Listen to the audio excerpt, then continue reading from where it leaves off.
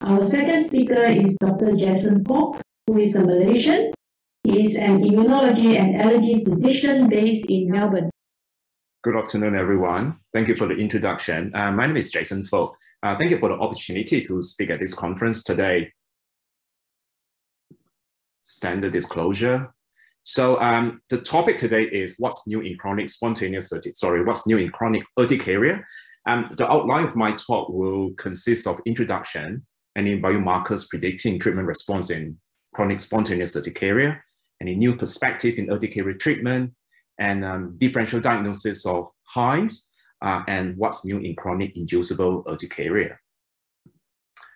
I'm sure we don't need any much um, introduction about the morphology of the pictures shown on the screen. So this is what we call urticaria or hives or wheals. It is unprompted occurrence of angioedema, or both for more than six weeks. It is said that about one third of two thirds of cases exhibit both wheals and angioedema, and this condition affects 1% of the general population. It has an unpredictable cause and duration, and many patients suffer for more than one year, uh, in about 11 to 14% of patients suffer for more than five years.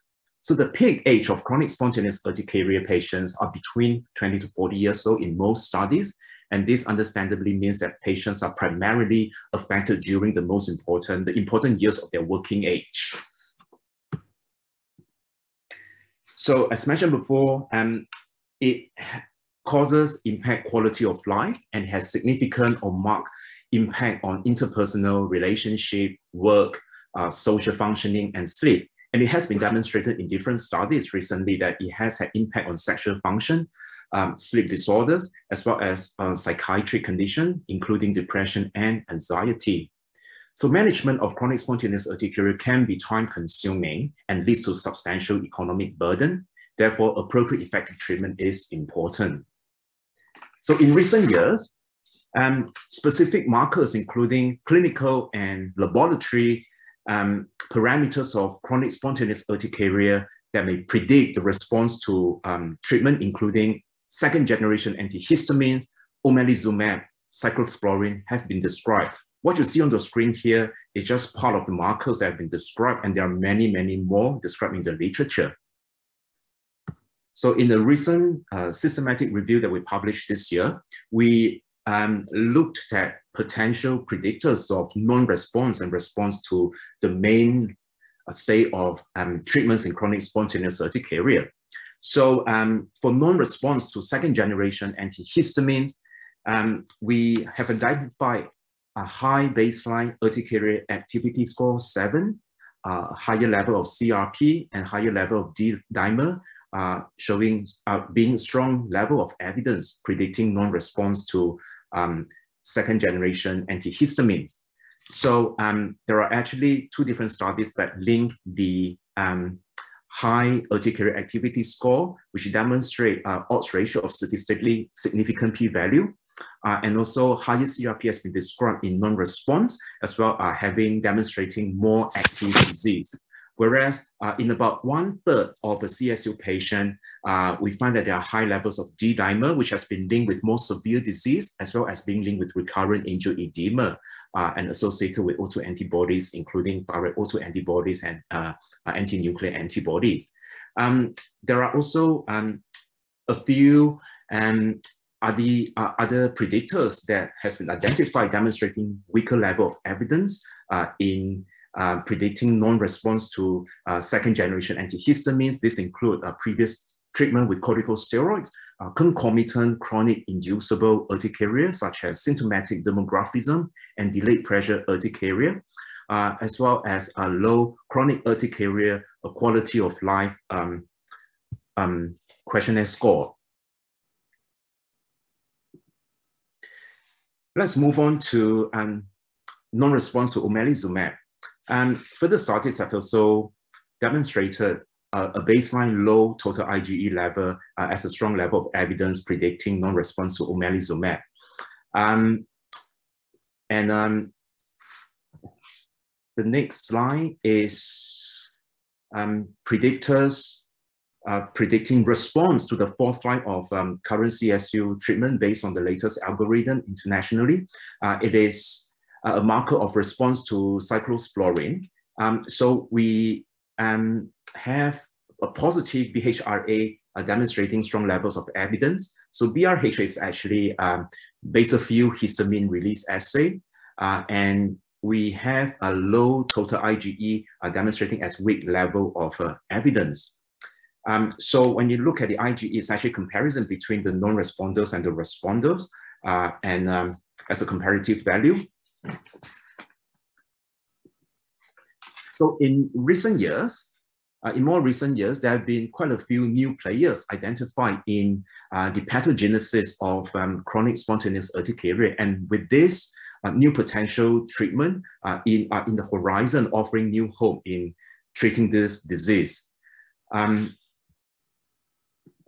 so this diagram may seem a little bit busy and complicated, but essentially it summarizes quite a few uh, new players um, currently available based on quite a few papers published uh, very recently. So um, we have a the BTK um, inhibitor, which which acts at blocking specific signal tran transduction pathway involved in mast cells activation. The examples are remibrutinib and fenebrutinib, and we have this um, Siglec-8, anti-Siglec-8, which is essentially a mast cell silencer uh, via inhibitory uh, receptors. And the example includes uh, lirentelimab, AK002, uh, which leads to extensive depletion of eosinophil, and it has been demonstrated uh, in uh, CSU cases of uh, omalizumab naive and omalizumab refractory um, uh, scenarios. Um, and I'm sure many in the audience are familiar with a anti-IgE therapy, the omalizumab. And another new medication that has been uh, used recently is a ligelizumab, which binds more potently um, for Fc epsilon R1 than the Fc epsilon R2 or CD23. Therefore, this is what makes it quite different from the omalizumab pathway.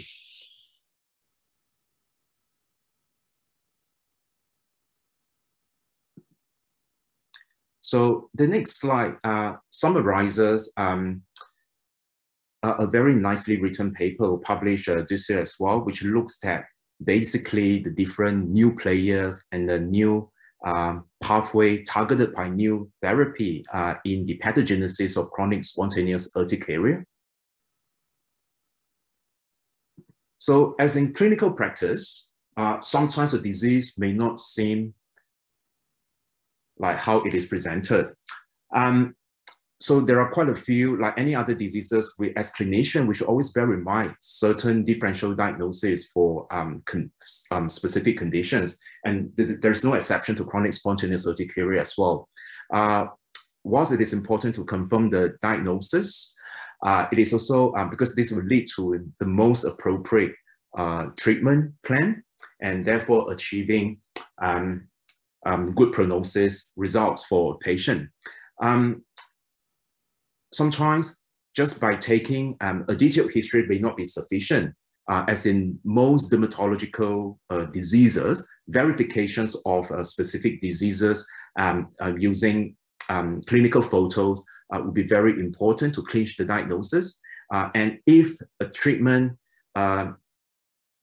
initiated to treat a particular disease does not achieve a desired uh, result, uh, it is important to step back and then think outside the box and uh, consider other differential diagnoses that might be at play. Uh, because uh, certainly there are quite a few conditions that can mimic the morphology of urticaria or hive. So classically, CSU is an itchy, highly pruritic condition.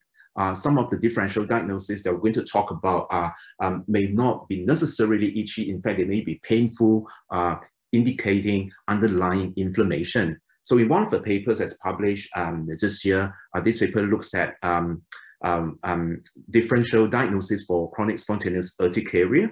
Uh, and uh, in patients with um, wheals only, it is important to uh, consider other differential diagnoses such as urticaria vasculitis, which essentially uh, can be burning in nature, may be associated with arthralgia, and when the skin lesions heal, it may leave a mark or a pigmentation. Um, the way to investigate uh, skin biopsy would be helpful along with a um, investigating with serum complements level.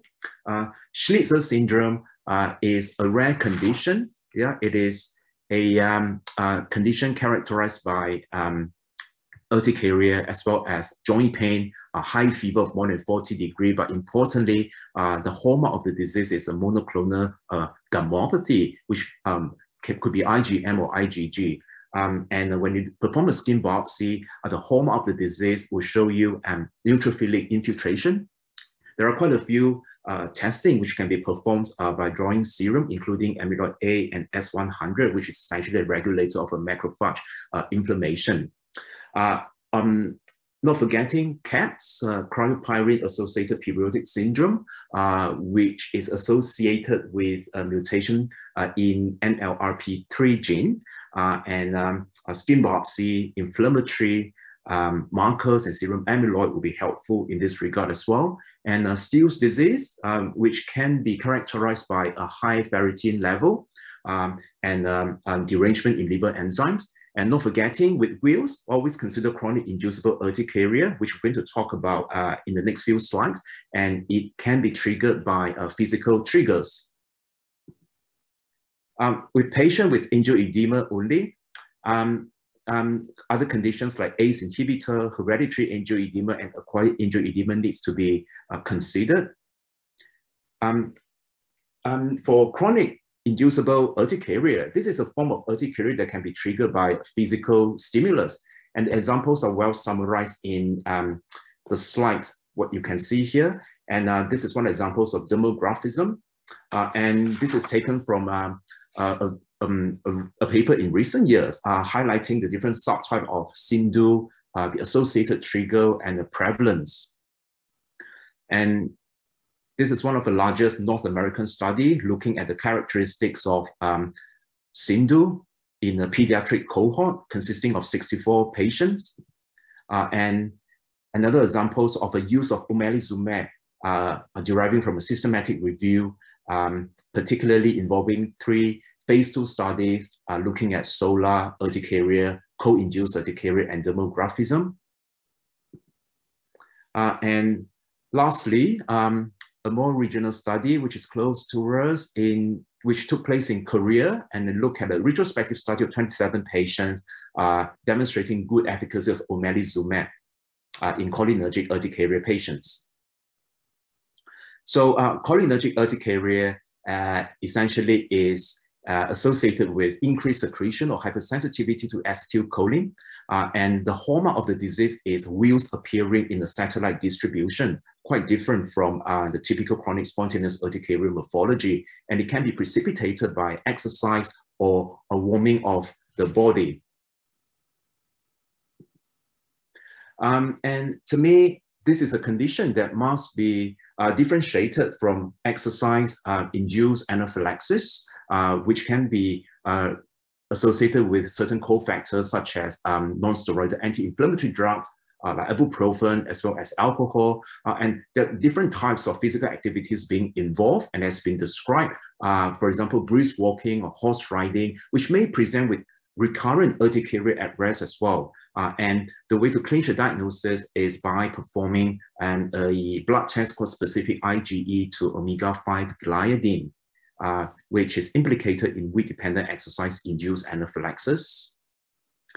Um, for cold urticaria, uh, it constitutes um, to about one third of all cases of physical urticaria. Uh, it can be dangerous because when it progress, progresses systematically, it can cause um, cold anaphylaxis. And omalizumab has been demonstrated to be uh, an effective treatment uh, in um, reduction in critical temperature threshold so a recent systematic review um, of 16 studies have also uh, confirmed um, the result, um, the efficacy of using omalizumab um, in uh, cold urticaria. Uh, with this, uh, thank you for listening. I'm happy to introduce my friend, Professor Punchama Pacharn. She is currently a pediatric allergy of the Allergy and Immunology Division the Department of Pediatrics at Sri Hospital at Mahidol University. She is also a clinician scientist with research interests in food allergy and immunotherapy, in particular wheat and shellfish allergy, and recently precision medicine in the field of uh, food allergy. Uh, my topic is about managing the practical challenges in oral immunotherapy. Among different routes of food immunotherapy, oral immunotherapy has the highest efficacy, but it also has the least safety compared to the other routes. In general, the mild adverse events are found in about 2 to 5% of doses, mainly abdominal symptoms, and up to 24% of patients have symptoms that require epinephrine for the treatment. Today, I will focus on how to prevent and manage the adverse event in OIT. Adverse events during OIT may trigger by cofactors such as exercise, the NSAID, infection, dehydration, menstruation, or sleep deprivation. These factors may increase the intestinal permeability and absorption of allergens, or can increase the blood circulation and influx of allergens, or it can direct uh, effect on mast cell and basophil activation. But sometimes patients with OIT develop adverse events despite had none of these factors. The clinical features of OIT patients who have exercise-induced allergic reactions were investigated. This study enrolled 25 patients who underwent with OIT, and the exercise challenge was performed after patients on maintenance dose for three months. If they had positive results, the exercise challenge test was repeated they found that 21 patients achieved full dose OIT, and about 66% of them had exercise-induced allergic reaction. And this reaction still persists after five years in 52% of patients. When compared between patients who had exercise-induced allergic reaction or not, they found no difference in clinical characteristic between two groups, except in EIARD positive patients show significantly higher specific IgE level to wheat. As you can see from this table, the EIARD positive patients had wheat specific IgE level at the baseline about 100 compared to 21.7 in EIARD negative group. And also the gliadin and glutenin components that higher in EIARD positive group, as you can see from this table. Our group reviewed the medical records in patients who underwent with OIT and divided them into complicated and uncomplicated cases. The definition of complicated cases is those who had grade two reactions more than two times, or patients who deviated from protocols or dropped out from OIT. And the objective of our study is to identify factors that predict complicated with OIT we found that most patients could not identify the trigger of allergic reactions during OIT. And the most common causes that can be identified are exercise or infection. And when we compare the specific IgE between the complicated cases and uncomplicated group, the baseline with specific IgE level in the complicated group was significantly higher than the uncomplicated group. The general recommendation for OIT treatment to decrease the adverse events, including taking the daily doses, not taking doses on empty stomachs, and reducing or withholding the dose during infection, asthma exacerbation, GI diseases, or menstruation.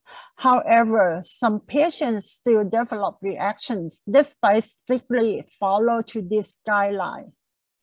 The adverse events from OIT could be reduced by combining OIT with monoclonal antibodies or, anti or probiotics, or by decreasing the maintenance dose to the low dose OIT, or using the baked product for OIT. First, I will talk about the use of monoclonal antibody for OIT. There are three monoclonal antibodies that have been studied for food immunotherapy. Omalizumab is the monoclonal antibody that has been successfully used as an adjunctive treatment with OIT. It binds the circulating IgE and prevents the IgE from binding to Fc epsilon R1. And dupilumab is an anti-IL-4 receptor and uh, etokimab is an anti-IL-33. Both dupilumab and etokimab studies are still in phase two trial or some in clinical trials. So today I will talk about only the use of omalizumab with OIT. A study in peanut OIT showed the use of omalizumab could facilitate oral desensitization. They randomized patients to have omalizumab or placebo 12 weeks before OIT. Then subjects underwent rapid one-day desensitization of up to 250 milligram of peanut protein, followed by weekly increases up to 2000 milligram of peanut protein. And these figures show the median tolerated dose between two groups during the rapid desensitization phase. And you can see that the median tolerated dose was significantly higher in the omalizumab group compared to placebo. And omalizumab was used until the 19th week. Then the OFC was performed at the sixth week after discontinuing omalizumab. And they found that about 74% of the omalizumab group can tolerate 2000 milligram of peanut protein compared to only 12.5% in the placebo group.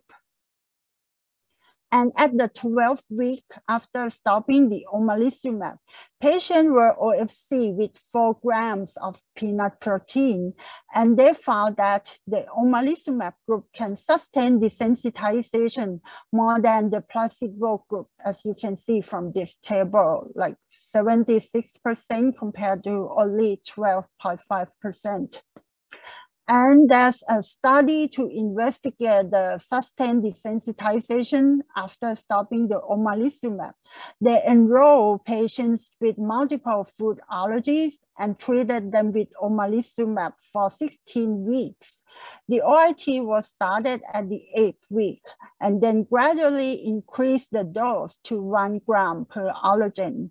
Then at the 30 week, they were randomized to have 1000 milligram per allergen, 300 per allergen, or discontinue the OIT. And the primary endpoint was the percentage of patients who tolerated two grams of food, at least two allergens at the 36 weeks.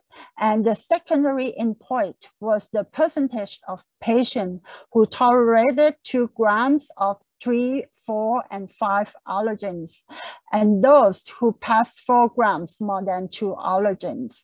And they found that those who continued the OIT, which you can see the red bar, had a significantly higher percentage of patients who passed the OFC than those who discontinued the OIT.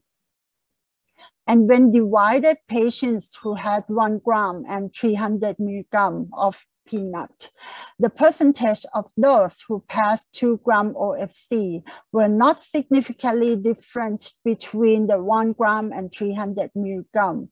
So it means that the sustained desensitization best occurs through the continued maintenance OIT, whether the higher dose or lower dose compared to the discontinuation of the OIT. However, there's an ongoing study that is supported by NIH and CoFAR group called the OUtMATCH study.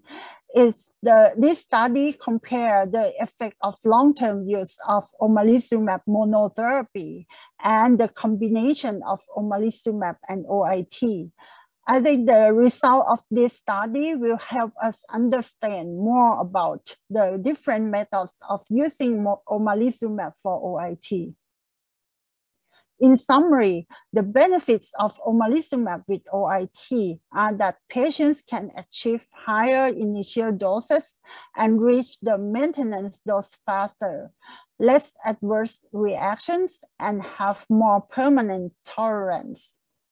Next topic is about the use of probiotics. The first double-blind RCT that evaluated the effect of a combined probiotic and peanut OIT intervention came from Professor Mimi Tang's group. They randomized children with peanut allergy to receive probiotics with peanut OIT or placebo for 18 weeks. The outcome was the desensitization after two to five weeks after discontinued the treatment they found that the sustained unresponsiveness was significantly higher in the PPOIT group compared to the placebo. And also the desensitization rate right after the end of the treatment showed that it's higher in the PPOIT group more than the placebo group.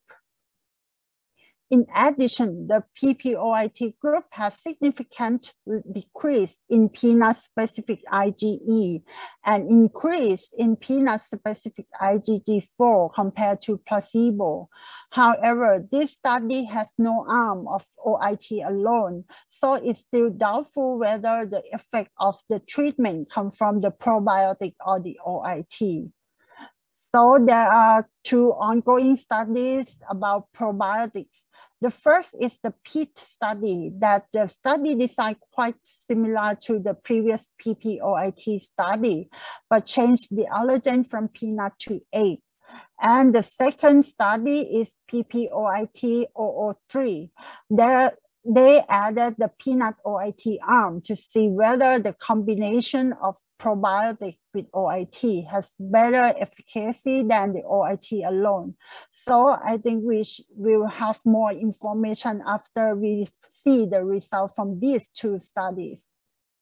The next topic is the use of low-dose OIT.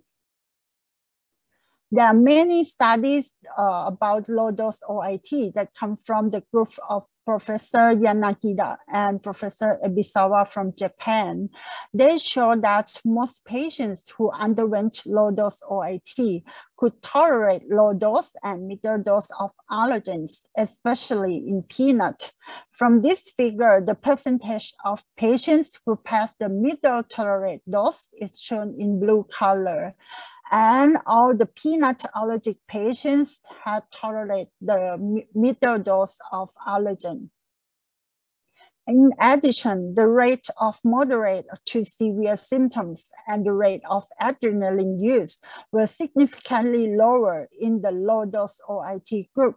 However, the question is whether sustained unresponsiveness can be obtained from the low dose OIT and the optimal maintenance dose for each food is still not be identified. Recently, there's a study that compared the OIT with regular maintenance dose and the 25% maintenance dose, and then OFC at the first and the second years after OIT. The outcome was the short-term unresponsiveness at two weeks after stopping the OIT. This graph shows the short-term unresponsiveness among egg, cow milk, and wheat. You can see the gray color, which means the short-term unresponsiveness was not significantly different between the regular maintenance dose and the 25 maintenance dose in in, in all group of allergens. However, the reactions in the 25% dose were significantly lower than the regular dose. So this is an interesting option, but long-term sustained unresponsiveness is needed to be evaluated. The last topic is OIT with the baked product. This study compared patients with history of milk anaphylaxis who underwent OIT with 3 ml of heated milk or unheated milk for one year, then stopped the OIT for two weeks and OFC with the 3 ml and 25 ml of cow's milk they found that the percentage of patients who passed OFC in those who OIT with heated milk and unheated milk were not significantly different in both the 2 ml OFC and the 25 ml OFC. And the specific IgE for cow's milk was decreased in both groups the casein IG specific IgG4 level increased in both groups after the OIT, but the beta lactoglobulin IgG4 was increased only in the unheated milk group. This can be explained by the heated group has no beta lactoglobulin in it. For baked egg, there was a study that challenges patients who had history of baked egg allergy with baked egg. Those who passed the egg OFC were randomized to OIT with baked egg or regular egg, and those who failed the egg OFC were underwent regular egg OIT. The outcome were the desensitization at first and the second year, and the sustained unresponsiveness at the second year. There were no differences in age and sex between three groups, but the specific IgE for egg white, ovomucoid, and oval ovalbumin were significantly higher in those who failed the baked egg OFC, as you can see from this table. The outcome at the second year showed that the desensitization rate and the sustained unresponsiveness were significantly highest in those who OIT with regular egg. And interestingly, that those who failed the baked egg FC at the beginning, which seems to have the worst prognosis, show that after the OIT with regular egg, they had the rate of desensitization and sustained unresponsiveness higher than those who OIT with big egg. In on conclusion, the adverse events in OIT are common. The exercise-induced reaction may be related to the initial specific IgE level. The omalizumab helps OIT patients have a higher initial dose and achieve the target dose faster. The low dose OIT has less adverse events but the problem is we still don't know the exact dose to maintain the efficacy of OIT. And OIT with baked product has less adverse events, but also has less efficacy. I would like to thank my Faculty of Medicine Siriraj Hospital and also Samitivej Allergy Institute. We keep working to improve the outcome of OIT in our patients. Thank you for your attention. So the first questions uh, we direct to uh, Punchama. What is the prevalence of wheat allergy in Thailand? Do those patients in your wheat uh, OIT trial have a severe reactions before the trial? Yeah, thank you for your question. So we don't have the exact prevalence of wheat allergy in Thailand, but we have the prevalence of food allergy in, in Thai children. Uh, it's about like 5% for the parent-based questionnaire, uh, but the challenge proof prevalence is about only 1%. So the, the wheat allergy patient, the wheat prevalence allergy is maybe lower than that. And uh, in our series, we have about 75% of our patients who have history of wheat anaphylaxis. So most of our, our patients try have severe reaction. Thank you, Koi. Thank you, uh, Professor Pacharn. Can I add on to that? Um, mm -hmm. You have a lot of experience in treating patients with wheat oral immunotherapy, in what form of the wheat given to patient you found most acceptable? Okay, so like at the beginning, uh, patient has to uh, receive wheat flour because the in patient who have severe reaction, most of them can tolerate only like between 30 to 100 milligram of wheat flour. But later after that in Thailand, we use bread, a slice of bread and sometimes because patient has to eat every day so they quite bored about the the bread so maybe they can change to uh, pasta macaroni spaghetti or sometimes like instant noodles that uh, patients really like it that sounds really nice. um, during the COVID pandemic, how would you like treat these patients coming in with adverse reactions because of the we have lockdowns in different parts of the world? How did you handle that? Yeah, I think it depends on what uh, phase for the patient because if the patient in the maintenance phase, we just like keep patient on the same at the same dose. But uh, during the build up phase, uh, we uh, delay the appointment because sometimes some patient like uh, asked me to can they challenge at home and increase the, the dose at home.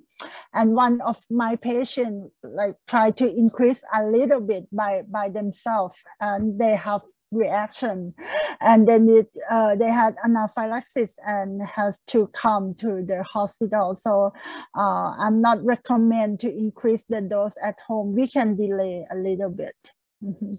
Thank you, Professor Pacharn. While we are on the COVID-19 pandemic, can I direct a question to Professor Zhang? Um, we've got a question here. Um, would you be able to highlight the relation of allergic rhinitis and um, the use of biologics during the COVID time? I'm sure there are a lot of restrictions elsewhere in the world. So while they're on the biologics um, and during the COVID breakdown, how would you handle the situation? Would you like to highlight some of the like the challenges that you faced? Uh, uh, uh, you know, uh, for allergic rhinitis now, I think uh, the most uh, important thing is for the patients, they have not very good adherence for the uh, medication standard the medication. And so for uh, for us, the most important thing is find a cost-effective way, uh, uh, um, strategy for the patients. On the one hand, we should, uh, um, the, and the most uh, important thing is how to control the patient's uh, symptom and uh, improve their quality of life. And so uh, for the biologics, it, for example, the patients with um, um, primary allergic rhinitis, I think it's not suitable because, you know, biologics are always very intensive. And so uh, I think, so um, in present study, I show just now it's just for the seasonal allergic rhinitis because when they are uh, exposed in a high uh, sensitization of the uh, the pollen, I think the uh, the majority of the patients cannot be controlled well uh, in the uh, the uh, in the pollen season, and so we want to find a cost-effective way, uh, and also meanwhile uh, it has uh, mm, very uh, good safety and to uh, give the patients well uh, uh, disease control. Yeah, I think the challenge is how to balance these factors. Thank okay. you. Yeah, Professor Chang, there's another question for you. Mm -hmm. Okay, how how do you uh how, what do you give to your patients? Uh, can you mention all for allergic rhinitis? The pharmacological treatment that you give to your patients? Uh, just the, the pharmacotherapy? Yes, all the medicine that you you give to your patients. Um, uh, if the patient is just uh, for example, they are allergic to house dust uh, mite. Um, maybe I think it's just for the medication and for the uh, allergen avoidance. Uh, and meanwhile, if the uh, the medication they cannot uh, control their uh, symptom well, I will uh, suggest them to do the uh, immunotherapy. And the medication, the first line is always such as antihistamine, and the the the and meanwhile that is the nasal spray of the steroid and just um, I think uh, this two kind of the uh, medication is most popular and most common uh, in our clinic. And but uh, if uh, they are uh, um, allergic to the uh, uh, pollen, maybe uh, in the pollen season, I will give, suggest them to do some biologics ahead of the pollen season, and then they will very happy to just experience this season. Yeah, thank you for your question. Okay, uh, there, there is a question for Prof. Shao Jie, uh, in regards to SLIT, as described in the topic, working for better asthma control, we find that in our pediatric populations that the main factor to failure of SLIT in this group is compliance. So over the course of uh, first and second year, maybe many families find compliance uh, a hurdle that sends them to skip. Can you suggest any methods to improve this compliance? This, uh, as uh, Prof. Xiaojie is, uh, uh, is having a walk around, then uh, we will address this issue to her uh, by emails. Hopefully she will address, she will come back to us with, with her answer in the internet.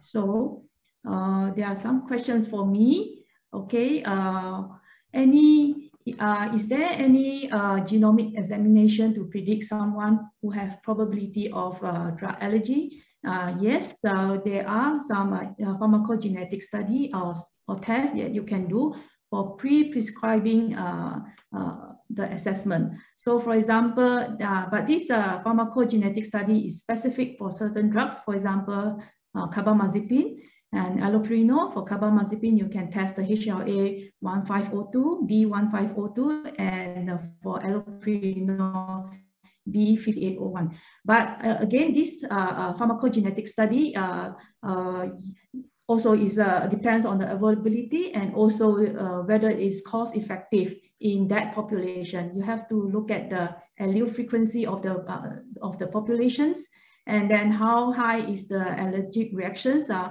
For example, severe cutaneous uh, uh, adverse drug reactions in, uh, in allopurinol, and also whether you have an alternative, a, a very cheap alternative for the, for the drugs. So so a lot of uh, uh, populations, if uh, it was found that you can do pre-prescribing assessment with with HLA B1502 for carbamazepine, but not cost effective for allopurinol. So another question for me, how do you maximize uh, the, the efficacy with least side effects uh, when we prescribe uh, any drugs? Of course, uh, uh, by experience and also by all the uh, clinical data that we have regarding the side effects of, the of any drugs, and you have to discuss the medication before you prescribe to before you prescribe to them. So yeah, so if let's say the drugs is not really indicated, uh, maybe you should hold on and then or, or before if the one drug is uh, is indicated to the clinical situation but has a lot of uh, side effects or allergies, you have to inform the patients uh, properly and then uh, preempt them. If anything happen, you have to stop the medication immediately and come to the to the hospital or the clinics. So another one is what are the strategies to diagnose and treat adverse drug reactions, commonly prescribed drugs such as uh, fluoroquinolone, uh, cephalosporin, and NSAIDs.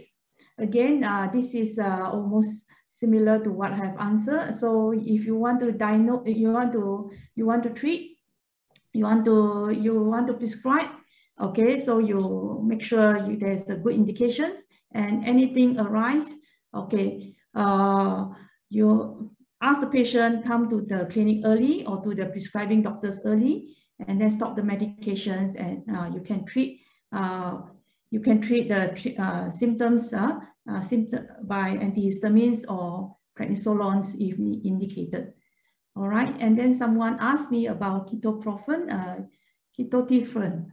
All right, that is the antihistamines, uh, but it has a lot of uh, sedative effect. All right, so another questions for Dr. Falk. Could you share your experience using cyclosporine in chronic spontaneous urticaria?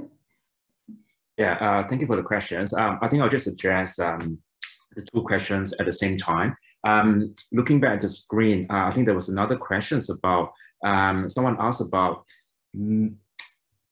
what is the next best step to treat a patient who is on three doses of antihistamine and um, coupled with H2 antagonist in the setting of um, not being able to access omalizumab. I think in this setting, um, if you look at the international guidelines, uh, the um, uh, Galen 2 guideline, WHO and EIT guideline, we tend to uh, updose antihistamine, second generation antihistamine, up to four um, doses. Yeah, four doses. Uh, uh, and um, next we move up to um, omalizumab. Uh, if omalizumab is not available, in different countries, um, I would suggest you know you can either um, use cyclosporine, yeah, cyclosporine, or potentially you know approach a pharmaceutical company for compassionate use of omalizumab, yeah, um, which is I, I think can be negotiated. Uh, and and the next question is about sharing experience about cyclosporine uh, in chronic urticaria patient, it definitely, evidence have shown that it definitely uh, helps. Yeah, uh, patients have achieved a, a improvement on cyclosporine, uh, but most of my patients in my clinic, um, we tend to use omalizumab um, um, in our setting. Yeah. But if you look at national guidelines, cyclosporine definitely uh, is an efficacious, effective treatment. Yeah. Yeah. Or maybe Dr. Tang can, can share the experience as well. Yeah.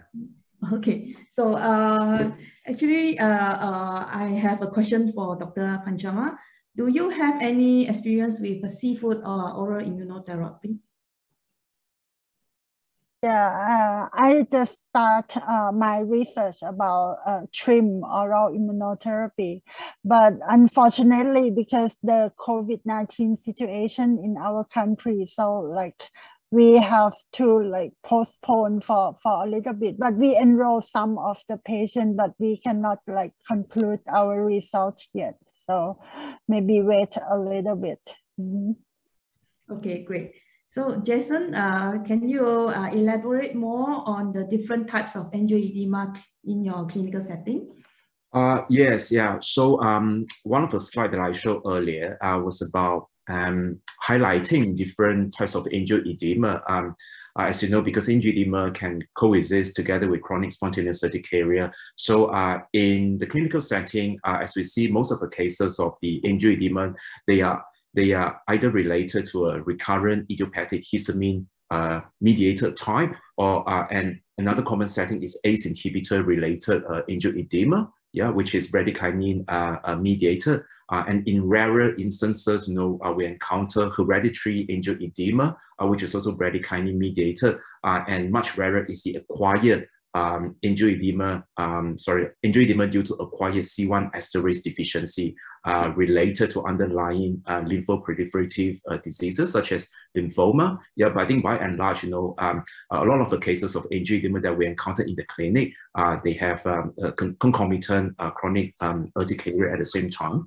Uh, and these type of patients, they respond very well to combinations of anti second generation antihistamines in different doses.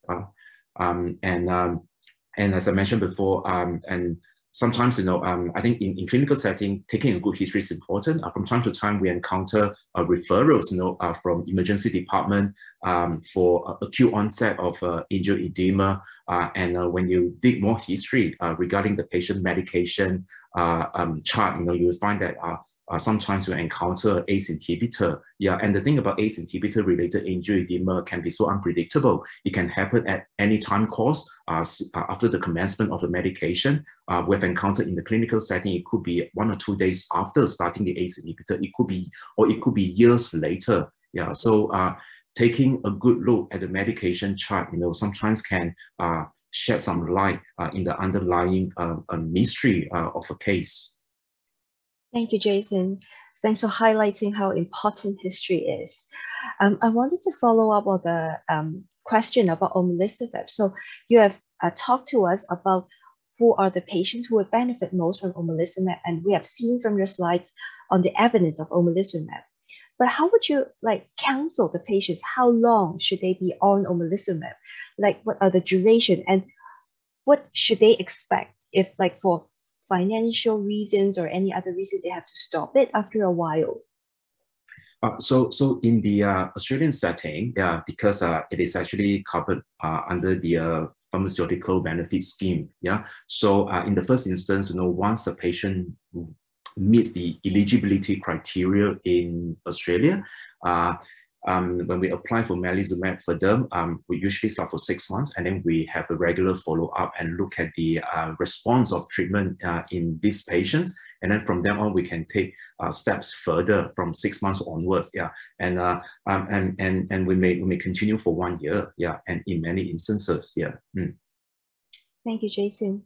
And I've seen from your slides, um, you talk about the different biologics other than omalizumab. I was wondering, like for ligizumab or um, other biologics, are there any like other indications other than use of chronic urticaria? Just came out of my mind whether it has been used for treatment of food allergy. Perhaps um, Professor Pacharn and both um, Dr. Falk can try to address that.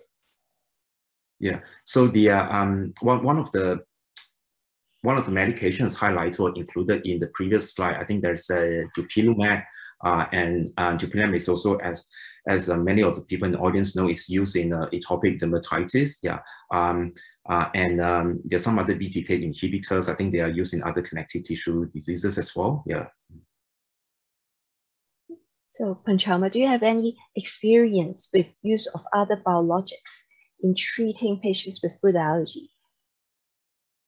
I, I have experience only for the omalizumab and and I as uh, in my talk that dupilumab is like still in the clinical trial, but I think uh, we we can we have to wait for the result. And uh, the another problem is the cost is very expensive. So maybe it's not uh, easy to apply for for the patients in Thailand. That's right. Um, I think I've heard about the use of ligizumab um, and dupilumab, but we'll wait for these exciting results. All right. I'm sure everyone agrees with me that we have uh, had an interesting and fruitful session today. On behalf of APAAACI, I would like to convey my gratitude to the panelists here today with me for the brilliant se session today. So thank you all uh, for all who participate us to uh, participate uh, with us and please stay tuned for the official opening ceremony at 3 p.m. Singapore time. Thank you very much. Thank Bye -bye. you. We'll see you again. Thank you. Thank you.